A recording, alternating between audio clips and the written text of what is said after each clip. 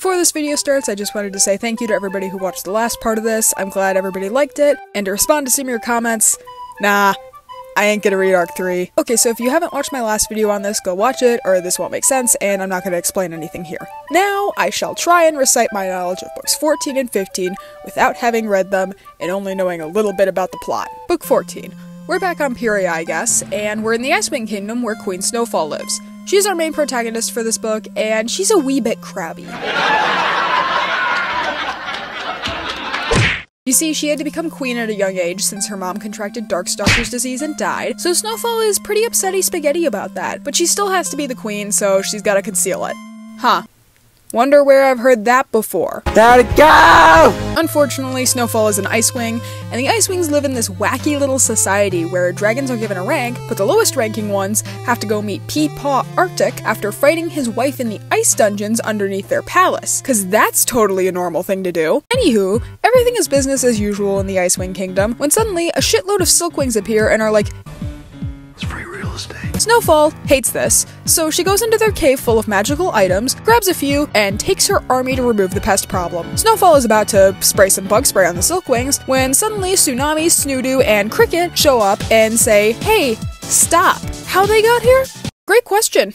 I don't have a clue. Despite this, Snowfall forces them to leave, so they finally do, and then Snowfall suddenly decides, you know what, I don't really want to be queen. I'm gonna go follow the bug dragons for a couple days. So she and a couple other ice wings go with them, and they follow them to the Sandwing Kingdom, where they go to stay with this guy named Jabora. Jabora is a Sandwing animus, but also isn't an animus, because out of nowhere, animus magic just stopped working so that Toy can drag out the plot for another book. Jabora's like, yeah, I'm missing my fingers because my mom was kind of crazy, and now lots of people make art about me, so I'm popular. Yay!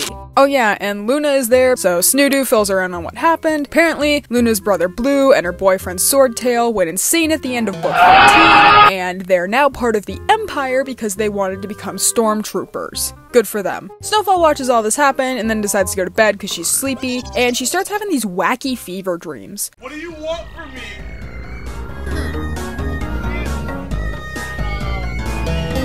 Would say she's stressed, but actually it's because one of the things she grabbed from the magical cave was a ring that gives her visions to make her a better person. Snowfall wakes up the next morning, grabs her friend Lynx and tells her about all this, and Lynx is like, damn, that's goofy girl. So Snowfall goes for a walk to clear her mind, and she sees her older sister Crystal with a mudwing. Snowfall thinks this is bad, so she yeets the mudwing into the abyss, but then Crystal's like, no, that's my boyfriend, girl, stop! And Snowfall's like, oh, shit, my bad, and she pats her new brother-in-law on the head before going back to the bug dragon situation. So turns out Tsunami, being the bossy bitch she is, asked all the queens to show up, and they did because Tsunami's a boss bitch. And then, um, there's a human there.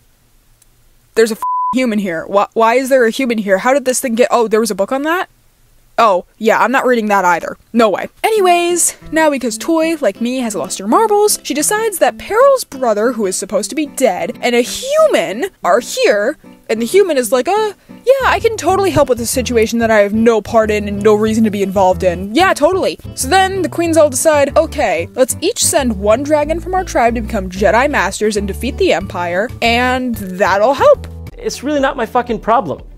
I'm like, dude, what do you want from me? So they each pick out one dragon, and the only one I can remember is Pineapple because he's cool and dating Jambu. And then all the Jedi Masters go off to do their training. So Snowfall's no longer useful, so she goes home and realizes, oh shit, my aunt kind of started a dictatorship where she put my little baby sister in charge, and now my baby sister's crazy. So she faints after realizing this, and an Icewing Animus shows up and is like, yeah, I died a long time ago, but now that the book is over and you faded like 20 million times, even though Toast didn't talk about that, you little shit, you're gonna be a good queen now and make changes in the Icewing Kingdom. And Snowfall's like, wow, thanks, girl.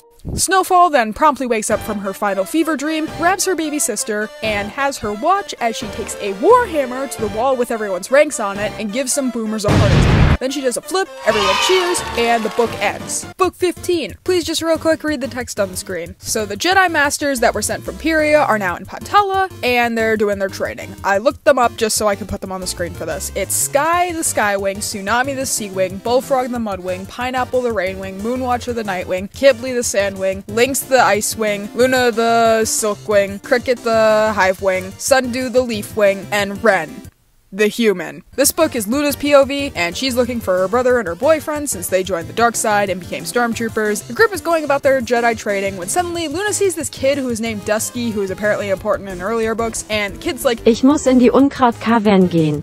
and Luna is like, Nein, nein, kleine deutscher Junge, gehen in die Unkrautkavern nicht. and jumps in after him. Then a bunch of vines grab them both and they wake up in the abyss where they see um an all wing and an old man with a beard. What? What the fuck? Wait, what the f- is this book? There's an all wing and an all wings are canon now? Are you f- kidding? So the all wing's name is Lizard, and she likes violence because she's Uzi from Murder Drones, essentially. Bite me! And the old man's name is Cottonmouth. Cottonmouth means dry mouth. Like. So then, I guess the scorching is explained through Dry Mouth Man. Apparently, humans used to like rule Piriam Pantala, and they had like big cities and stuff. I'm not sure what time period they were in, but it sounds like they were in like modern civilization. But then they would go out and kill dragons because they were worried that dragons would kill them. And at first, the dragons didn't give a shit because they could just hide in caves and castles and stuff. But then the humans started stealing their eggs. Why? I don't know, maybe they wanted to make a big ass omelet or something. The dragon mamas all got pissed about this, banded together, and basically destroyed modern civilization as we know it. Then they just kind of moved into where the humans lived and started turning into the dragons from Wings of Fire. Dry Mouth Man was one of the dudes who was stealing the eggs, but he was a scientist, so he wasn't part of making the omelet, he was like experimenting and shit. He decided it would be a good idea to take a dragon, lizard, and sit down next to a giant plant. And then they both just appeared in the abyss and were like, well, guess we're stuck here. Hey, I can control this plant. So the plant is called the Breath of Evil, and I guess that's been really important in the last couple books. Um, Hawthorn, the guy who died, gave that to Queen Wasp, and then Queen Wasp got the ability and I guess it's like the reason why everything is going to shit, and it's not clear how it evolved, but it's just there. Dry Mouth and Lizard can just control people with it for some reason, and they're controlling Wasp Vader. So I'm just gonna go ahead and say that the Breath of Evil is the dark side. I guess. Just go with it. Luna is kind of put off by this, but then she's like, oh, I can just, like, see my friends and what they're doing with this. Turns out that the group got captured by Queen Wasp Vader, who is like, Yo, dudes, the Empire's pretty chill. Maybe you could, like, join it or something. and they're like, um, no thank you, we're, we're perfectly fine right now. So, after this point in the book, I only know for certain about one thing that happened. One thing. Therefore, from this point forward in this video, I will just be making shit up. So, through the power of friendship, Blue and Swordtail stop being a part of the dark side and break out the Jedi Masters, and then Queen Wasp Vader looks at Cricket and says, I am your father. And suddenly Pineapple, the coolest one here, comes in with a lightsaber and turns Queen Wasp Vader into Queen Scarlet, which causes Tsunami to go into a fit of rage where she beats Wasp up and then Darth Vader explodes along with the Death Star. Luna, Lizard, Dusky, and Cottonmouth watch this, and Luna looks at Lizard and says, Stop it.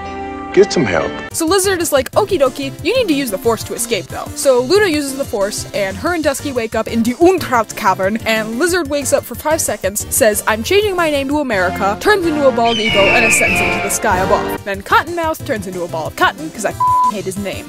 And Luna is like, Nice. So now that the Death Star has exploded, Luna, Blue, Snoodoo, Bumblebee, Cricket, Swordtail, and Willow are reunited and are like, woohoo, friendship! And the Jedi Masters leave and go home. And I guess Moonwatcher, Qibli, and Winter are together now. And Pineapple's the best character in this book. Pantala is chilling now. I think they got rid of Queens, and now they just have a parliament because they want to be British. And that's the end of Wings of Fire. Or at least it better be. Oh well. If anything else comes out, I'm not gonna read it anyways. So, I don't really give a shit. Let me know if you like this video or not. Eat your vegetables, and have a great day or night.